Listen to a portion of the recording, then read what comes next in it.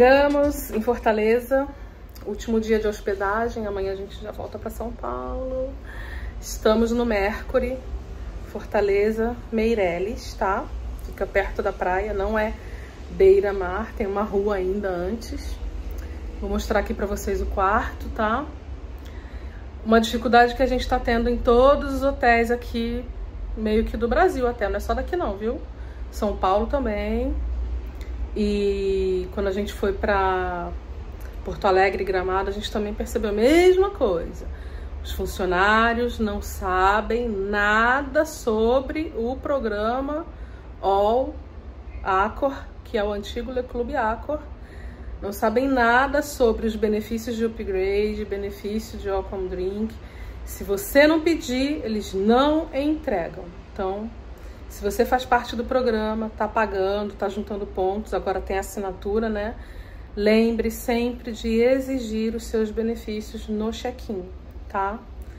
E cuidado, se você for pedir o upgrade, não faça check-in antecipado, porque daí você vai ficar naquele quarto lá. Talvez não consiga mudar para um quarto melhor, tá bom? Vou mostrar o quarto aqui para vocês. Conseguimos o upgrade. Demorou uns 40 minutos ali na recepção, atendimento. Não tinha fila preferencial para quem era participante do Le Club, do UOL, né, do programa. Só tinha uma pessoa atendendo, dois balcões de atendimento. A moça fez eu entrar na fila atrás de outra pessoa. E assim que eu entrei atrás de outra pessoa, chegou um grupo de 30 pessoas e aí veio mais uma atendente e atendeu, adivinha quem? O grupo de 30 pessoas antes de mim. Então a gente demorou porque, obviamente, a menina que atendeu a gente não sabia tudo. Ela foi bem devagar ali porque ela está em treinamento, né?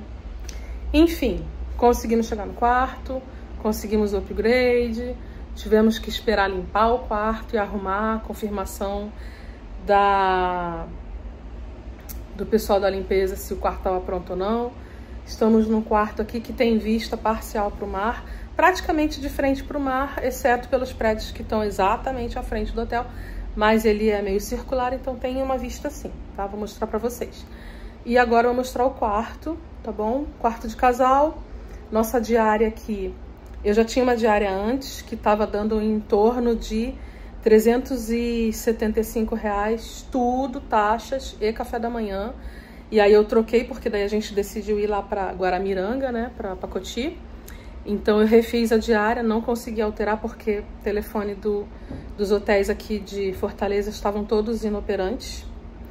Nem a central do Acor, do UOL, conseguiu falar com eles, então eu precisei cancelar e fazer do zero a reserva de novo. Aí eu peguei uma nova tarifa, então a diária aqui, nesse hotel com café da manhã, Saiu por 400 e uns quebradinhos, tá bom? Vou mostrar o quarto pra vocês. Como sempre, começando aqui pela porta, tá? Aqui é a entrada. Aqui já tem a cama com um painel bem bonito atrás do mar. Aqui, mesinhas cabeceira com tomada, um apoiozinho, dos dois lados é igual, do outro lado tem telefone, televisão ali, Aqui são as nossas coisas, a gente está no final já. A gente ganhou uma cesta maravilhosa da família Velaço, lá do Carlos e da Elizabeth, da Marina. Esqueceram a garrafa no carro. Ai, ai. Aqui tem quadrinhos de decoração, ar-condicionado, uma mesinha de apoio, televisão que eu já mostrei, cama king size, e aí o quarto. Depois eu mostro a vista, calma o suporte para colocar a mala. Aqui o outro criadinho, ó. Desse lado não tem tomada, mas tem o telefone e tem os interruptores aqui dessas luzinhas aqui. Deixa eu ver. Ah, tem uma tomada ali atrás, ó. Lá embaixo tem uma tomada. Pronto. Aqui, frigobar, comidinhas, tá? Isso aqui não é gratuito, então tem o preço delas aqui, ó, do minibar. Tem o QR Code aqui para você saber o preço de cada coisa aqui do minibar, tá? Vamos abrir aqui. Aqui a nossa bolsa aqui. Deixa eu botar aqui. O que que tem no frigobar? Olha. Refrigerante, cerveja, suco, água de coco, Todd e água. tá? Mais uma cama aqui para um terceiro hóspede. Senhor William. Mais um ar-condicionado. Olha que legal. Outra janela. Tem um varandão ali. Tem um armário aqui, ó. Um roupeiro. Cofre. Toalhas extras. Os cabides. E prateleiras aqui. Quatro travesseiros na cama. Mais dois travesseiros aqui, que a gente vai usar também. Espelho. Quase dá pra ser de corpo inteiro, né? Faltou aqui a perna. Então aqui fica a pia, sabonetinhos, secador, espelho de maquiagem ou para fazer barba, tá? E aqui o, o, a ducha e o sanitário, tá bom? Então, toalhas de banho, toalha de rosto, o tapetinho tá aqui. Tem ducha higiênica, né? Aí aqui a ducha do banheiro, né? Tem água quente, água fria. E os shampoo, sabonete líquido, tudo da Fitoervas. Isso aqui é o que? Não consigo virar. Deve ser o condicionador, porque esse é o shampoo. Tá tudo cheinho, foi reposto, então. E aqui ainda pode pôr mais uma coisa que seja pessoal para você tomar banho. Tem uma coisa legal aqui, gente, de praia. Vou mostrar pra vocês. Cadê ele? Cadê? Cadê o ai? Pera aí, deixa eu achar. Tinha aqui, tiraram, ó. O resquício ali do furo onde ficava. E aqui desse lado, ó onde prendia. O que, que é isso? Isso seria um, um varalzinho retrátil. Então, a ponta dele lá com a cordinha ficava daquele lado, né? Aí você vem puxando a cordinha e trava ela aqui, nessa outra pecinha. Esse tipo de varal retrátil tem muito em na Europa a gente viu, nos Estados Unidos e em banheiros das cabines dos navios de cruzeiro. Se você já andou de cruzeiro e não sabia disso, você não viu, mas ele está lá. Bem na, na onde fica a ducha, ali na localização da ducha mesmo, do chuveiro, tá? Vou mostrar a vista agora, tá bom? Bom, então a gente tá aqui na cama, ó. E a vista que a gente tem é essa panorâmica aqui. Vou devagarzinho para a câmera ir ajustando aqui, ó a luminosidade. Olha, Praia de Iracema, Meireles aqui, né? Tá essa junção. Se caminhar pro lado de lá é Praia de Iracema.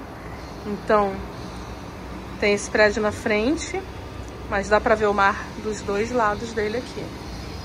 A gente pode andar até aqui, ó.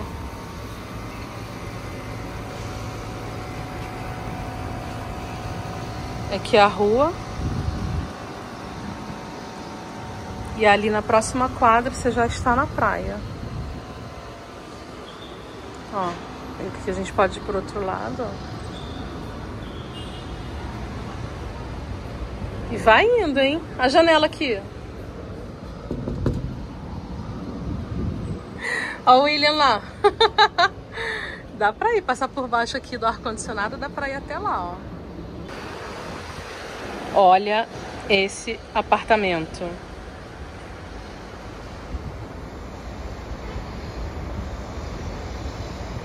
Show, né? Bom, então é isso. A viagem foi muito boa. A gente aproveitou muito, conheceu bastante coisa do Ceará. Claro que não deu para conhecer tudo do Ceará, né? 17 dias, então a gente conheceu muito mais do litoral do que do interior e da serra, né? Pudemos conhecer um dia ali a região da serra, que é muito bonita. Tem outras regiões de serra também, com cachoeira, com cavernas e tal, que é o Bajara também, que a gente quer conhecer ainda numa próxima viagem. Então, mas o que a gente pode dizer é que excelência de hospitalidade, excelência no acolhimento, carisma de todas as pessoas, entendeu? Assim, uma coisa que é natural deles, é quase que instintivo, assim, o acolhimento e o, o, o carisma, o carinho com, com quem é de fora, em ser solícito, em oferecer ajuda sem que você peça, né? Então, isso foi muito importante para fazer com que a viagem fosse muito mais proveitosa, muito mais satisfatória, muito mais relaxante para a gente. A gente se sentiu acolhido e tranquilo, seguro o tempo todo, né? A gente pôde. Aqui em Fortaleza é uma cidade maior, é uma cidade com mais pessoas, então a gente tem mais cuidado, mas em todas as outras cidades que a gente passou, do litoral, as, as menores, a gente andava tranquilamente com o celular na mão, filmando, falando, tirando foto. E é muito tranquilo, tá?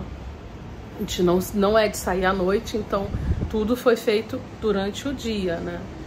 Mas é assim, venham sem medo que o Ceará tá aqui para abraçar vocês. É, foi assim que a gente se sentiu. Então é isso, fiquem com os vídeos, se vocês gostaram, vou deixar mais imagens aí do que a gente vai fazer hoje, passeios e tal.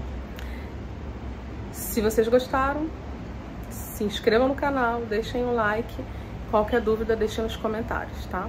Fiquem com Deus e boa viagem para todos vocês.